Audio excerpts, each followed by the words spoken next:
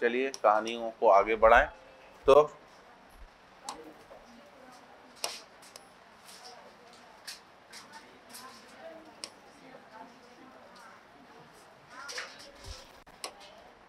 ठीक है? मान लीजिए मैं आपको अगेन एक क्वेश्चन दे रहा हूँ two A plus B gives three C और आपसे मैंने अभी वर्डिंग वाले क्वेश्चन भी कर रहे हैं। इसके पाँच मोल हैं, इसके चार मोल हैं, इसके ज़ीरो बताइए। सबसे पहले एल आर बताइए कौन है? फाइव को किससे डिवाइड करेंगे? टू से, ठीक है ना? और फोर को किससे डिवाइड करेंगे? वन से। तो फाइव को टू से डिवाइड करा कितना आया? टू पॉइंट फाइव और फोर को वन से करा तो फोर जिसके लिए रेशियो छोटा होगा, वो कहलाएगा क्या आपका? एल आर तो यहाँ पर हमारे लिमिटिंग रीजन क्या हो गया? ए हो गया। ठीक है जी बच्चों? अब अगर मैं आपसे पूछूँ कि सी के कितने मोल बनेंगे या बी के कितने मोल बचेंगे थोड़ा सा वॉल्यूम बढ़ा दो, ठीक है? तो आपको सेकेंड स्टेप भी लिखनी पड़ेगी क्या? फाइव माइनस टू एक्स ये हो जाएगा क्या बच्चों? फोर माइनस एक्स और ये हो जाएगा क्या आपका?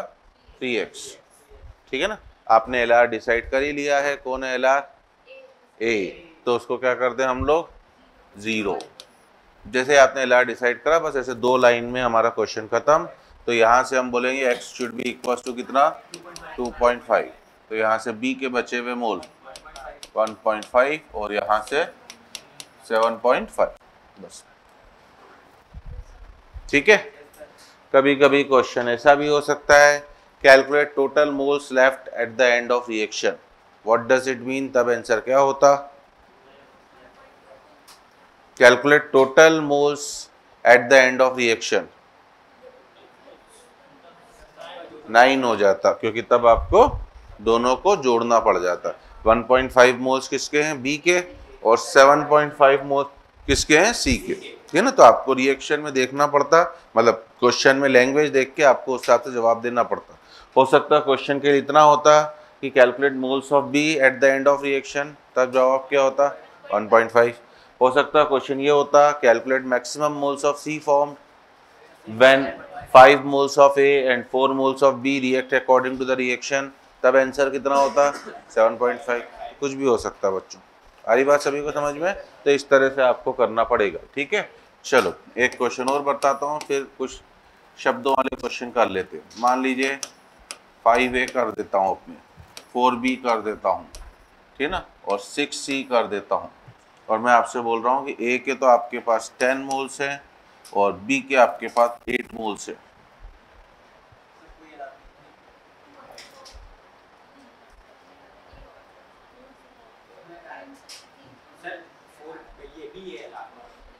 ठीक है? तो एल आर यहाँ पर टेन को फाइव से डिवाइड करा टू एट को फोर से डिवाइड करा टू यहाँ कोई एल आर नहीं है, क्योंकि दोनों ही खत्म हो गए। दोनों स्टैचूमेट्रिक अमाउंट में हैं, ठीक है? तो ऐसा नहीं कि आप कसम खा के बैठ जाओ कि माँ कसम दो रिएक्टेंट आए तो एल आर बताऊँगा ही बताऊँगा, ऐसा नहीं है। कभी कभी ऐसी चालाकी भी कर देगा, जब दोनों के कोफिशेंट सेम आ जाएँगे तो तब आपका कोई भी एलआर होने वाला नहीं है, ठीक है ना? तो आप इसकी सेकेंड स्टेप लिखो, क्या लिखोगे? बोल के लिखो ना। है? हाँ किसी को भी निकाल, किसी को भी लेके निकाल सकते हो। ठीक है ना? अब अगर इस क्वेश्चन में मैं आपसे सी के मोल पूछूँ तो ये एक तरह से सिंगल रिएक्टेंट वाला ही क्वेश्चन है। आप चाहो तो सेकंड स्टेप नहीं भी लिखो। देखो, आप ए से निकालो सी के मोल बोलो, क्या करोगे? Six by five into ten कितना? ट्वेल्व ये मैंने अगर किससे निकाला? ए से। अगर बी से निकाल तो? Six six by four into eight, तब भी कितना आएगा ट्वेल्व, समझे? तो अगर वो स्टैचूमेट्रिक अमाउंट में हो गए तो एक तरह से सिंगल रिएक्टेंट वाले ही क्वेश्चन है। और चाहो तो आप सेकंड स्टेप भी लिख के कर लो। क्या लिखते हैं? Ten minus five X, eight minus four X और सिक्स एक्स। तो मैं आपको सब टेक्निक्स बता दे रहा हूँ भैया। उसके बाद सवाल किस टेक्निक से करना है? वो आपकी मर्ज़ी है। हो सकता है कि आपको सवाल करना ही ना हो। बोले, टेक्निक तो जाए भाड़ में, सर। हम तो करेंगे ही नहीं सबसे पहली बात। तो वो अलग बात है। मैं आपको सब तरीके बता दे रहा हूँ कि इस तरीके से होते हैं सवाल। इन्हीं को हम स्टैचोमेट्रिक बोलते हैं। इससे भी आप देखो, अगर ज़ीरो करोगे तो यहाँ से भी आपकी एक्स की वैल्यू कितना? टू। यहाँ से भी टू और एक्स को टू रखोगे तो सिक्स टू जा ट्वेल्व हो जाएगा। ठीक है जी? तो अगर वो स्टैचोमेट्रिक रेशो में ही हो गए, तब हमारे लिए कोई भी एल नहीं है। तब हम चाहें तो सेकंड स्टेप बिना लिखे भी आंसर निकाल सकते थे, ठीक है? हमें एग्ज़ाम में आया भी तो बच्चों तो अगला जो टेस्ट होगा उसमें तो फिर भर भर के आएँगे इसके ऊपर क्वेश्चन क्योंकि अगर मुझे फ़िज़िकल के मान लीजिए पंद्रह क्वेश्चन बनाने होंगे तो मैं तीन चार क्वेश्चन तो अभी तो इतना ही पढ़ा है ना हमने, मैं एल पे डालूँगा बट एग्ज़ाम में फाइनल एग्ज़ाम में तो हार्डली एक क्वेश्चन आएगा, अब उससे आपको सही करके आना है इतना सर है ना, उसके लिए ही हम बस इतनी प्रैक्टिस कर रहे हैं। ठीक है? चलो वन लास्ट क्वेश्चन इस तरीके से फिर मैं वर्डिंग वाले कुछ क्वेश्चन दे रहा हूँ, ताकि एक और आइडिया मिल जाए। सिक्स है प्लस फोर भी। ज़रूरी नहीं अब एक ही रिएक्ट दो ही रिएक्टेंट हो। ठीक है ना? मैं तीन भी कर सकता हूँ बच्चों ना? और भी, और इसको सी कर देते हैं। तो हालाँकि नीट में तीन रिएक्टेंट का कभी भी नहीं आने वाला है बट क्लास में तो हम प्रैक्टिस के लिए कर ही सकते हैं। मान लीजिए एट डी प्लस ई अब मैं आपसे बोल रहा हूँ कि आपके पास ए के तो 1.2 मोल्स है बी का आपके पास वन मोल है सी के आपके पास टू मोल है। सबसे पहले मुझे एल आर बताइए।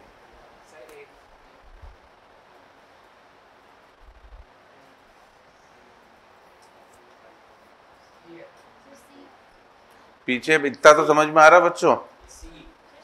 इतना समझ में आ रहा है एल आर निकालने के लिए कि इसको क्या करना है इससे? डिवाइड करना है बस वही एल आर होता है ना ठीक है ना? तो 1.2 को हमने किससे डिवाइड करा? सिक्स से कितना आया? पॉइंट बोले सर ये डिवाइड डिवाइड हमको नहीं आता ये सब आप करो।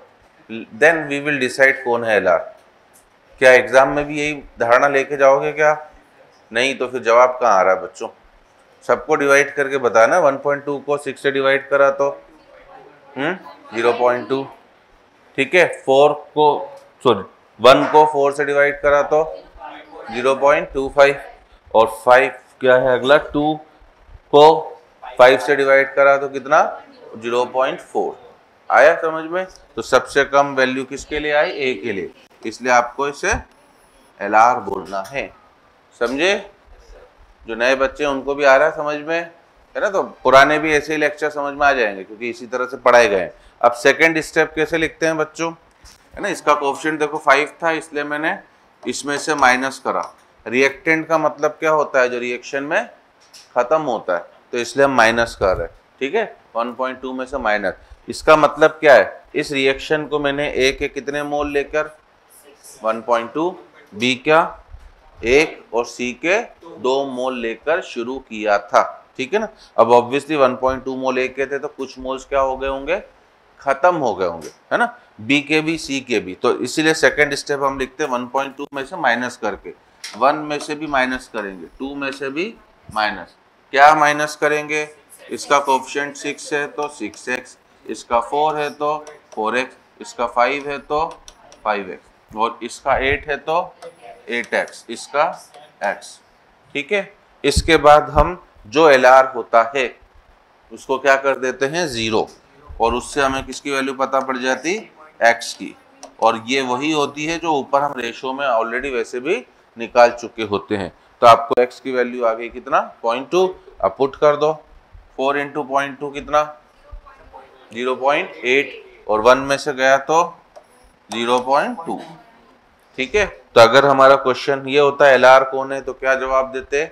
ए हमारा क्वेश्चन ये होता बी के कितने मोल बचेंगे at the end of reaction क्या जवाब देते हैं? पॉइंट टू एक्स को हमने यहाँ पॉइंट टू रखा तो five into point two one और टू में से वन गया तो वन तो हमारा क्वेश्चन ये होता है सी के कितने मोल बचेंगे तो वन है ना? डी के कितने मोल बनेंगे?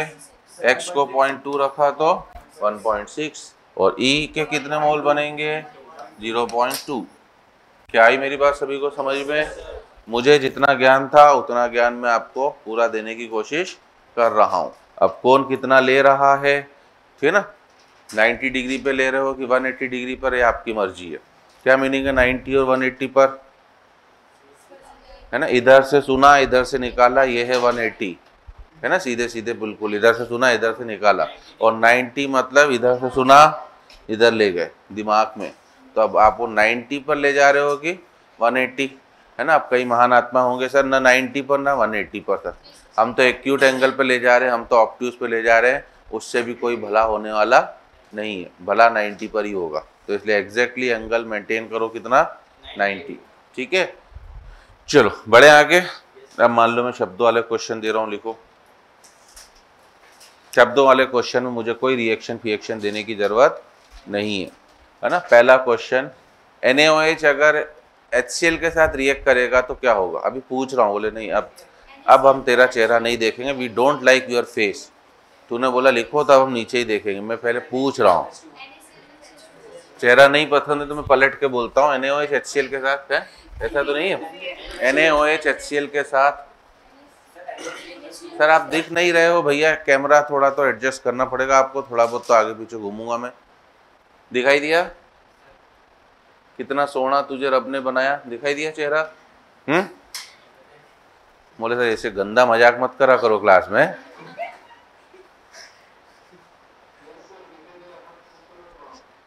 थैंक यू वेरी मच बेटा, ये तो बोल ही नहीं रहे। ये तो बोल रहे, हिरवानी, तू आता है क्लास में, रोना चालू कर देते हैं हम लोग, हैं? चलो तो हम क्या बोल रहे हैं बच्चों? एन एच क्या एच से रिएक्ट करेगा? क्या रिएक्ट करेगा? पहला क्वेश्चन क्यों करेगा? एक एसिड और एक बेस है।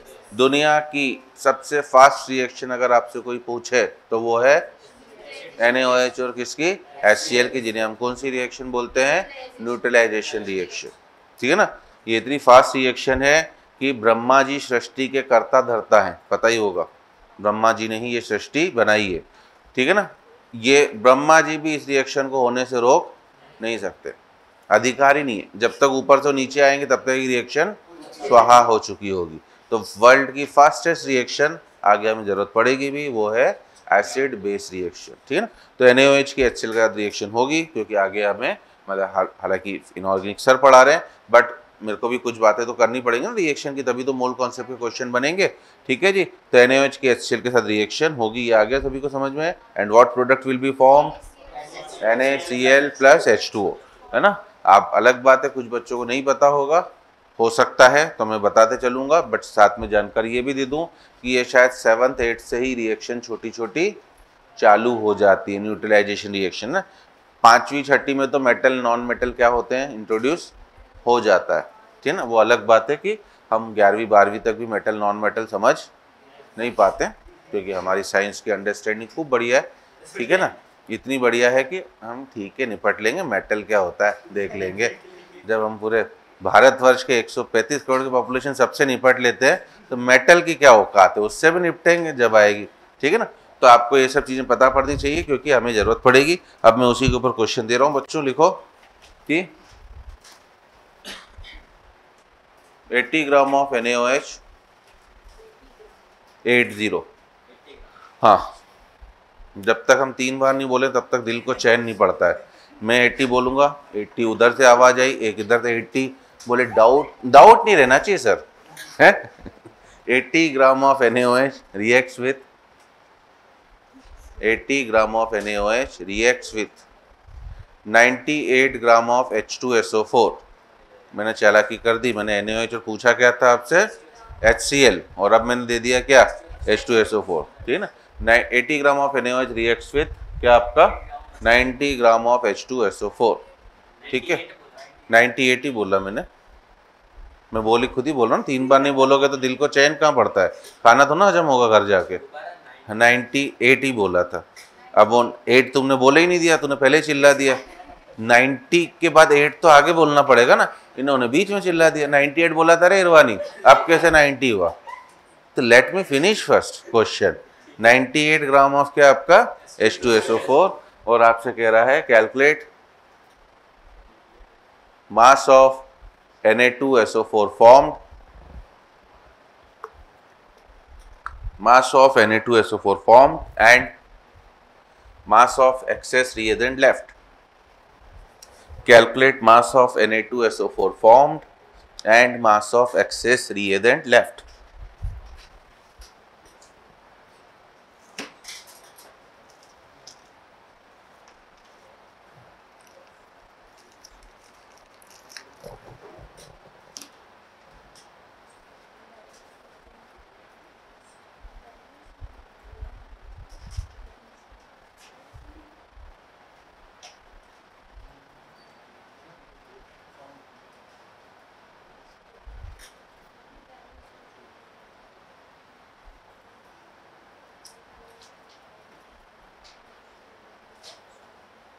हमारे सब बच्चे ऑनलाइन इतने कोर्स बिके हैं बट आते नहीं भैया ऑनलाइन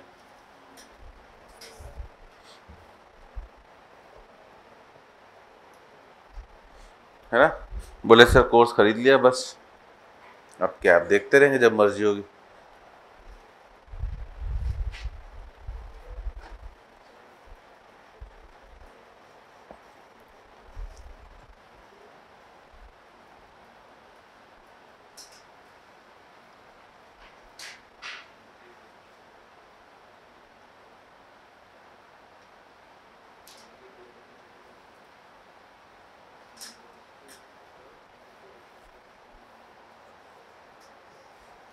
आज मैम की दो क्लास थी। हम्म?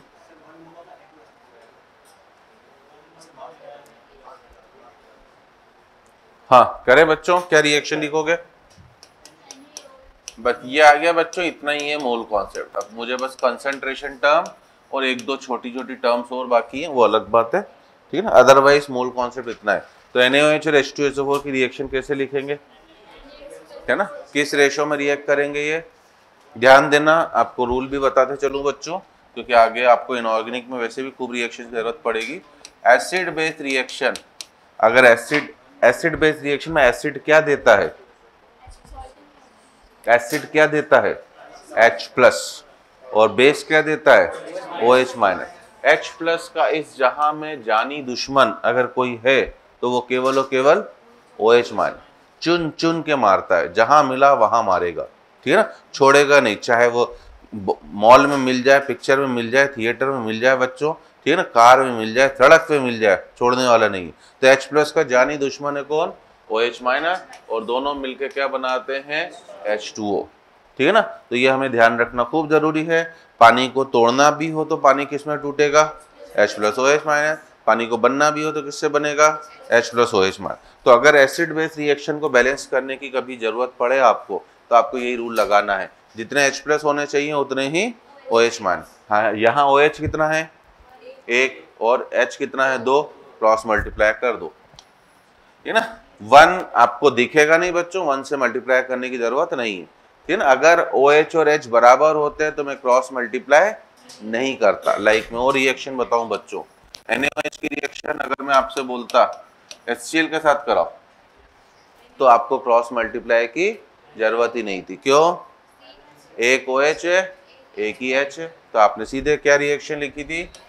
N A C L plus H two तो ये रूल समझ लेना बच्चों, क्योंकि आपको रिएक्शन की बैलेंसिंग आनी चाहिए। ठीक है? मान लो मैं एन एच की जगह के ओ एच लेता और मैं बोलता H three P O four के साथ इसकी रिएक्शन तो ओ एच एक है एच कितने हैं? तीन। तो आपको क्या करना पड़ेगा बच्चों? इसको क्रॉस मल्टीप्लाई करा तो तीन हो गए। ठीक है जी? अब सॉल्ट क्या बनाओगे? K three P O four plus क्या? थ्री एच टू ठीक है जी? तो हमने इस प्रीमियर कोर्स जो एक्चुअली ट्वेल्थ बैच है, बोला ही हम इलेवंथ भी पूरा पढ़ाएँगे। इलेवंथ इसलिए पढ़ा रहे बेटा। मोल इलेवंथ का ही टॉपिक है। वो पूरा बेसिक से पढ़ा रहे भैया। हर एक की अंडरस्टैंडिंग होती चले। मान लीजिए मैं एसिड तो लेता बच्चों H two S O four और बेस ले लेता A L O H whole thrice अब क्या करते आप? अब ओ OH कितने हैं? तीन H कितने हैं? दो, क्या करोगे? क्रॉस मल्टीप्लाई क्योंकि दोनों बराबर नहीं है। क्रॉस मल्टीप्लाई से दोनों क्या हो जाएँगे? बराबर। इधर किससे मल्टीप्लाई करूँ? तो अब ओ OH कितने हो गए? सिक्स जो नहीं बोलेगा उसको कीड़े पड़ेंगे जे एच वायरस पड़ेगा उसको, ठीक है ना? और इधर थ्री करा तो कितने हो गए? सिक्स हो गए। बराबर हो गए? तो छः मोल तो मैं किसके बना दूँगा? पानी के। क्योंकि छः एच प्लस है और छः क्या है? ओ एच माइनस तो छः मोल तो मैंने किसके बना दिए बच्चों? पानी के। ठीक है जी? बाकी क्या बचा? दो एल्यूमिनियम बचे हैं और तीन सल्फेट तो इनसे क्या बन जाएगा formula A L two S O four whole thrice जो बचा है उनसे सॉल्ट बना दो। ठीक है जी? तो हमें मोल कॉन्सेप्ट में रिएक्शन भी समझाते हुए मुझे चलना है। कंबर्शन ऑफ़ हाइड्रोकार्बन को कैसे बैलेंस करते हैं? एसिड बेस रिएक्शन को कैसे बैलेंस करते हैं? क्लियर हुआ सभी को? ठीक है ना? तो यहाँ पर आप इन्हें टू इस टू वन के रेशो में रिएक्ट करा के क्या बनाओगे? N A two S O four plus two H two ठीक है ना? अब वर्डिंग वाले क्वेश्चन में बस यही होता है बच्चों की आपको मास दे सकता हूँ मैं। इनसे प्रीवियस वाले क्वेश्चन में मुझे मजबूरी में क्या करना था सबके? मोल्स देने थे। तो क्वेश्चन इजी हो गया। मास दूँगा तो थोड़ा क्वेश्चन लेंदी हो जाएगा। पहले आपको मास से क्या निकालना पड़ेंगे? मोल्स 80 को हमने किससे डिवाइड करा?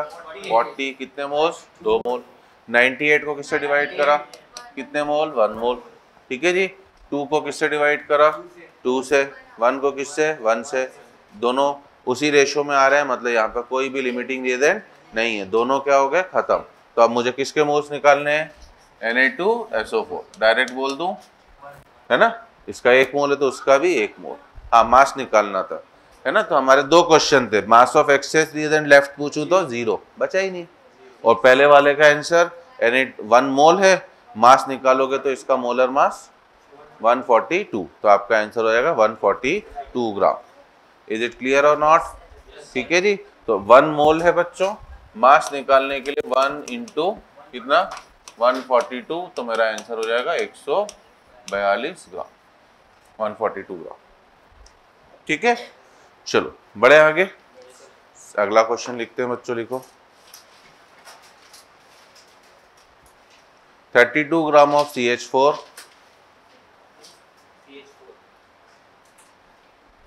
एक बार और बोल दे बेटा। नहीं, चेन नहीं पड़ेगा ना बेटा।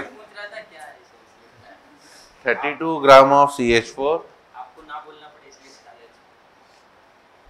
कितना ध्यान रखता है बेटा मेरा तो। थोड़े क्लास के बाद हाथ पैर भी दबा दिया कर बेटा, थक जाते thirty two gram of C H four react with thirty two gram of C H four react with 80 gram of oxygen. 32 gram of CH4 reacts with 8080 gram of किससे? ऑक्सीजन क्वेश्चन है बच्चों calculate mass of CO2 form calculate mass of CO2 form ऐसे बस एक एक line के simple simple question आते हैं बच्चों. और अगर हमें एक क्वेश्चन आ गया समझ में तो हर क्वेश्चन बन जाना चाहिए, क्योंकि मोल कॉन्सेप्ट इतना ही होता है।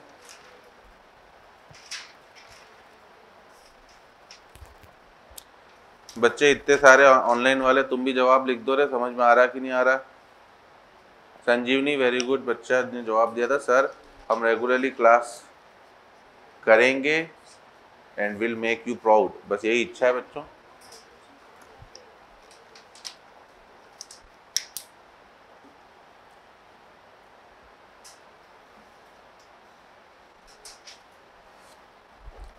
समझ में आ रहा है? मज़ा भी आ रहा है?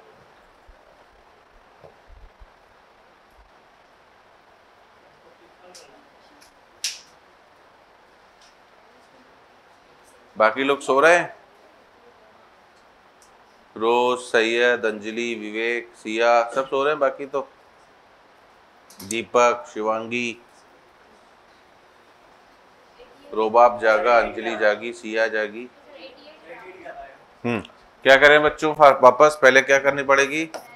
Balance reaction C H four अब हमें मनी मन पता होना चाहिए कि हाइड्रोकार्बन के लिए कितना X plus Y by four X कितना है? वन वाई कितना है? फोर तो one plus four by four मतलब फोर बाय फोर कितना होता है? वन मतलब इसको जलाने के लिए मुझे ऑक्सीजन के कितने मोल टू मोल तो ये अगर आपके मेरी बातें जो कम्बशन ऑफ़ हाइड्रोकार्बन समझ में आ चुका है। अब कोई भी क्वेश्चन आए, बच्चों, ये तुरंत लिखना है हमें। और क्या बना देना है? X C O two X one है तो एक सी ओ टू और वाटर कितने? Y by two H two ये कंबशन की जनरल रिएक्शन आप याद रखोगे तो आप ही का काम आसान हो जाएगा, कहाँ चुप गई?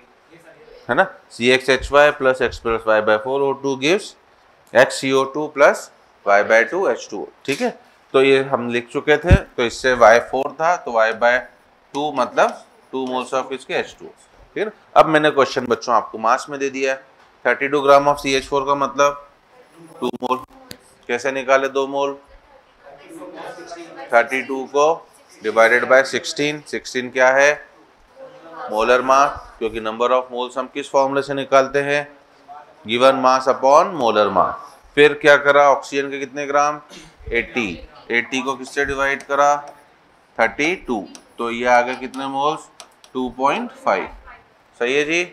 तो पहला काम ये करना पड़ेगा बच्चों, दो रिएक्टेंट आते ही, और एल आर देखें कौन है L R oxygen C H four कहाँ से हुआ? टू को वन से डिवाइड करोगे, और टू पॉइंट फाइव को टू से। छोटा कौन आएगा? टू पॉइंट फाइव को टू से डिवाइड करने वाला। ठीक है ना? तो ये क्या हो गया मेरा? एला ये ज़ीरो ये ज़ीरो। सेकंड स्टेप क्या लिखूं?